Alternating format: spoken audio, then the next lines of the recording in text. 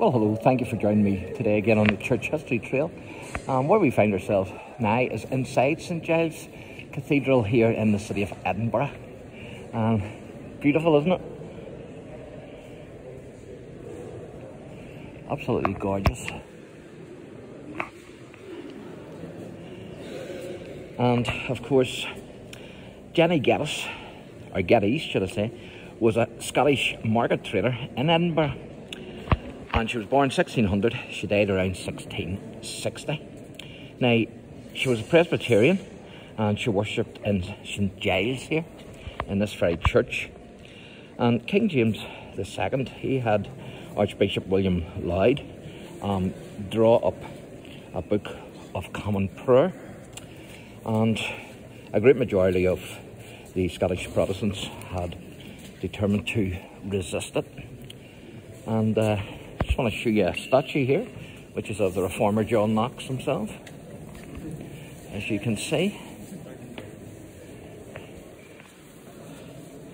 So that's John Knox. And there's a wee bit of information there about him. So if you want to read that, you can pause the video.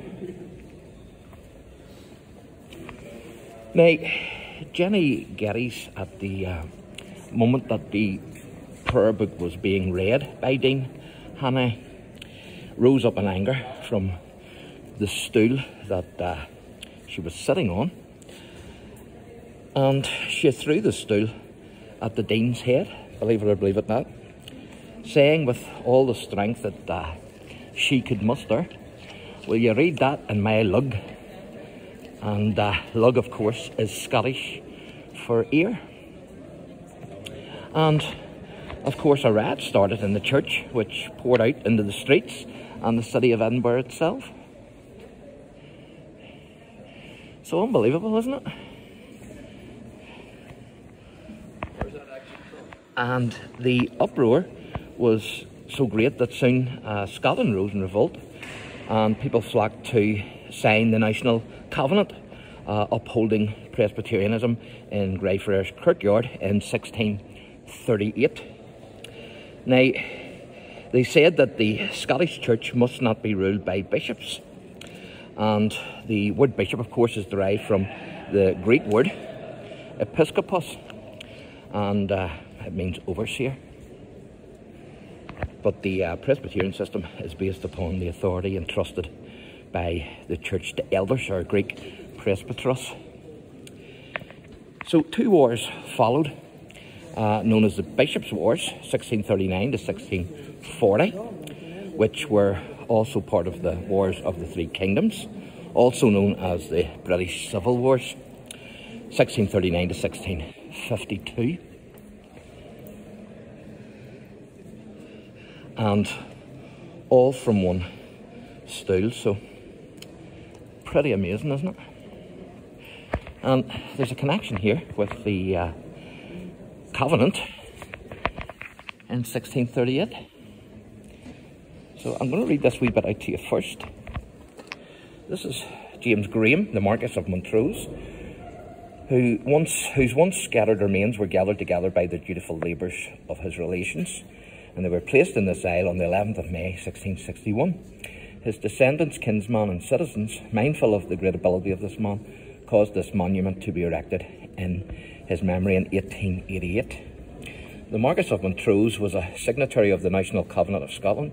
He was a fierce royalist and was executed pursuing this cause. Following the restoration of the monarchy, his remains were recovered and he was reinterred in St Giles Cathedral and is believed still and is believed still to reside in close proximity to this memorial.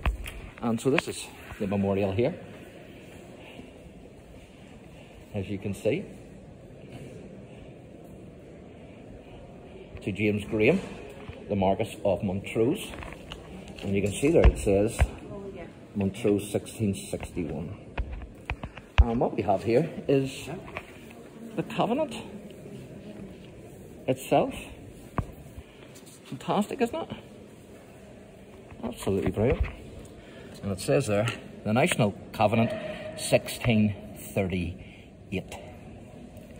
It's amazing, isn't it? And just one more wee thing I want to show you, and then we'll wrap this wee video up.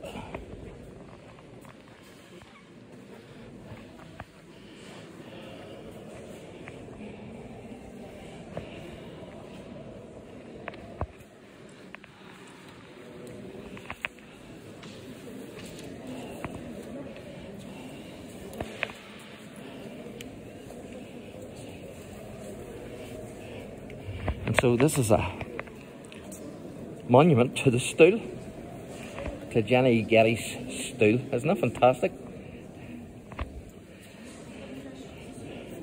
And there's a wee billboard here. You can see Jenny herself fly, throwing the stool at the, the Dean, the Dean's head. Certainly an exciting church to attend, no doubt about it. And that's the stool then itself. And so there's a wee plaque here on which I'm going to read out to you. And it says the uh, Cutty's stool, and it was dedicated to Jenny Geddes, 18, 1637, but it was it was put here in 1992. So there you go. So that's amazing, isn't it? So the war, the British wars broke out all from one prayer book being read and one flying stool. So thanks for watching and God bless.